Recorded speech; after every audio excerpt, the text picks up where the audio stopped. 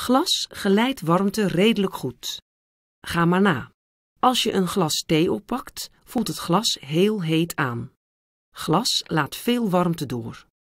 Eén enkele laag glas isoleert dus niet goed. Je kunt het warmteverlies beperken door een raam met dubbele glasplaten te gebruiken. Tussen de glasplaten bevindt zich een dun laagje lucht. Lucht is een slechte warmtegeleider.